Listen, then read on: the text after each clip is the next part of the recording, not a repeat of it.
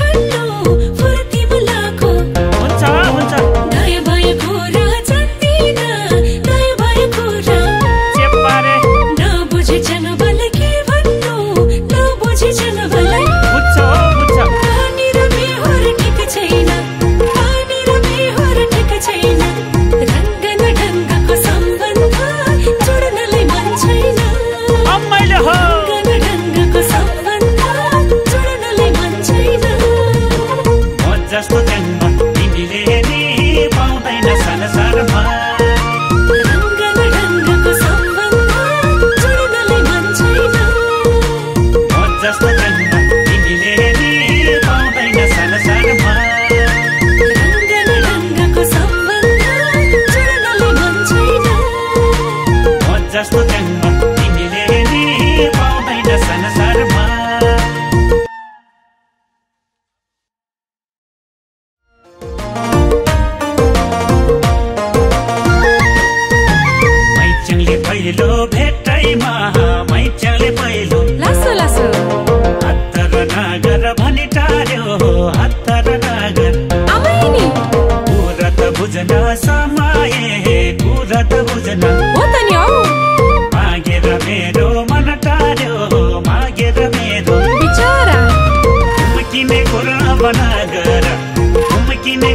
बना जाए।